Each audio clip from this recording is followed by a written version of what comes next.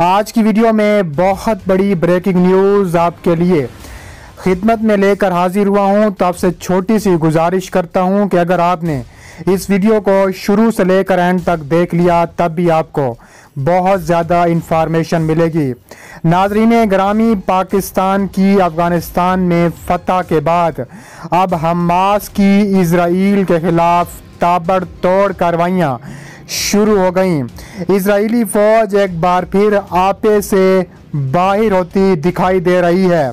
Israeli फ़ौज ने रात गए जंगी त्यारों से फ़लस्तीन पर शदीद किस्म की बमबारी शुरू कर दी। हमास के अड्डों को निशाना बना दिया। दर्जनों फ़लस्तीनियों को शहीद कर दिया। हमास का सख्त जवाबी वार सामने आ गया। हमास इसराइल के खिलाफ ताबड़तोड़ हमले के लिए तैयार हो गई।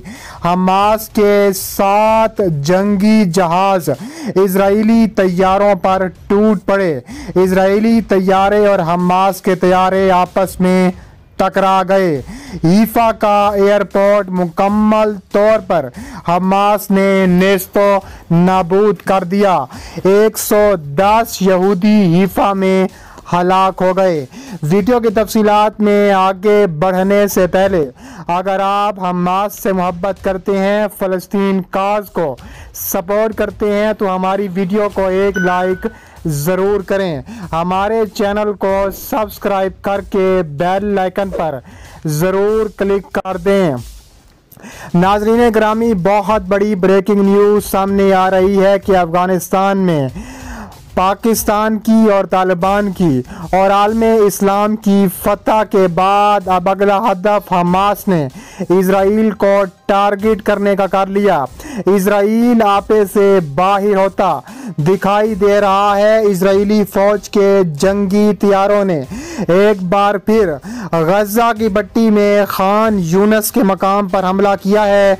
इसराइली फौज के तर्जुमान ने दावा किया है कि खान यूनस में उस जगह रॉकेट तैयार किए जाते हैं। मीडिया रिपोर्ट्स के मुताबिक फौजी तर्जुमान अफीखाई अदराई ने एक बयान में कहा है कि इसराइली हमलों में खान यूनस में अस्करी कैम्पलेक्स को निशाना बनाया गया। इसराइली लड़ाका तैयारों ने खान यूनस के मगरब में एक मकाम पर दो मेज़ाइल दागे हैं, जिसके नतीजे में वहाँ आग लग गई और शहरीों की मलिका इमलाक को नुकसान पहुँचा।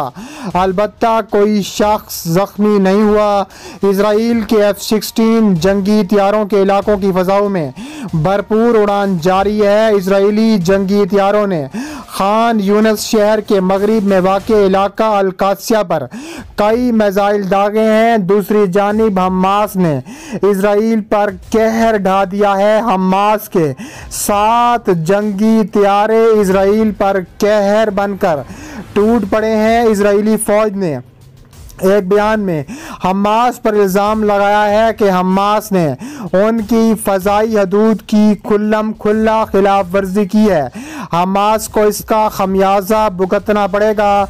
हमास के जंगी त्यारे और इसराइल के जंगी त्यारे। आपस में टकरा गए। इसने अपने कंट्रोल इलाके में, गजा से इसराइली इलाकों में अच्छी गुब्बारों से हमले किए। इन हमलों के खिलाफ जवाबी कार्रवाई करते हुए हमास की मुख्तलिफ़ तनसीबात को निशाना बनाया है। इसराइली फ़ौज की जानब से बयान जारी किया गया है कि गुजशत रात आई डी एफ़ जंगी जहाज़ों ने खान यूनस में हमास के राकटों को भी निशाना बनाया है। एनी शाहिदीन के मुताबिक इसराइली फ़ौज ने शुमाली गजा में तोप के गोले भी दागे। इसराइल ने मकबूजा मगरबी किनारे में फ़ौज दाखिल कर दी।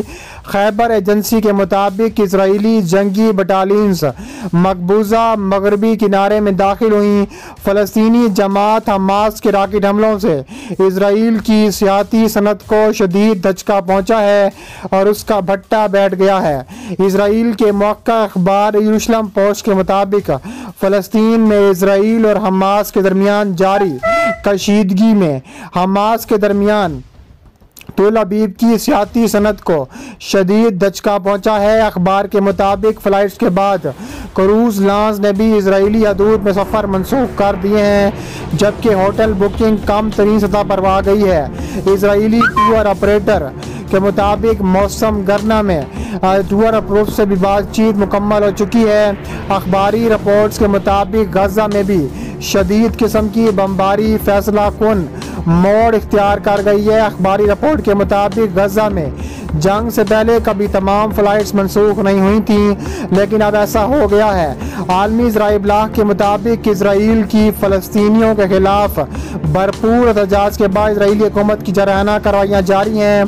गजा में पनाह गुजीनों के कैंप पर इसराइल की फ़जाई बमबारी से मजीद आठ मासूम बच्चों समेत तेरह फ़लस्तनी शहीद हो चुके हैं, जिसके बाद शहदा की तादाद एक सौ इक्यासी तक पहुँच गई है, जबकि हमास की जवाबी कार्रवाई में इसराइल के दस शहरी भी हलाक हो गए हैं। इसराइल का जजीरा समेत दीगर गैर मुल्की मीडिया के दफातर पर फ़जाई हमला शुरू हो चुका है। इसराइली हुकूमत ने गजा में बिजली के निज़ाम को बंद करने की भी धमकी दे दी है, जबकि मुसलसल बमबारी और ईंधन की बंदिश के बायस पहले ही बिजली की बंदिश से घरों का निज़ाम शदीद मुतासर हो रहा है। इसराइली दिफाई फोर्स ने जुम्मे के रोज़ इसकी जानकारी दी है। आई डी एफ़ ने ट्विटर पेज पर लिखा है कि आज रात गजा से इसराइल की जानब आछी गुब्बारे फेंके गए और हमास से मुंदलिक हथियारों की तहकीक और तरक्की के लिए इस्तेमाल किए जाने वाले हथियारों की तमीराती जगह पर हमला किया। आई डी एफ़ ने गजा पट्टी से होने वाले किसी भी दहशत गर्दाना हमले की खिलाफ वर्जी से जवाब देने का आज़म का इजहार किया। फ़लस्तनी शिप तंजीम। हमास का गजा पट्टी पर कंट्रोल है, ये तंजीम। इसराइल के साथ दरीना तनाज़े में शामिल है। इसराइली अभी भी फ़लस्तीन को एक आज़ाद सियासी और सफारती यूनिट के तौर पर तस्लीम करने से इनकार करता है। इसराइल गजा पट्टी से आने वाले किसी भी हमले का जिम्मेदार हमास को ठहराता है। फ़लस्तीन में गुज्त ग्यारह दिनों से जारी इसराइली वैश्याना बमबारी के बाद अब जंग बंदी का ऐलान कर दिया गया है। इसके अलावा अमल दरामद अभी तक नहीं हुआ है। इसके अलावा अमेरिकी मीडिया के मुताबिक गजा में गुज्त दो हफ्तों से जारी इसराइली बमबारी के बाद अब इसराइली हुकूमत और फ़लस्तनी मुजामती तंजीम हमास के दरमियान जंग बंदी का ऐलान कर दिया गया है। खून रेत शद में फ़लस्तियों का ज़बरदस्त जानी और माली नुकसान हुआ है, जिसमें दो सौ ज़्यादा फ़लस्तनी शहीद हो गए हैं। शहीद होने वाले फ़लस्तियों में एक तिहाई तादाद मसूम बच्चों की है। इसराइल के फ़जाई हमलों में गजा की कई कसर मंजिला इमारतें, ज़मीन बोस हो चुकी हैं, वाज रहे कि हमास की जानब से। ये ऐलान हुआ था कि वो जमेरात की शब मकामी वक्त के मुताबिक दो बजे से जंग बंदी देगा, जबकि इसराइल की जानब से वक्त कोई ऐलान हुआ था, लेकिन बाद में जंग बंदी हो गई थी।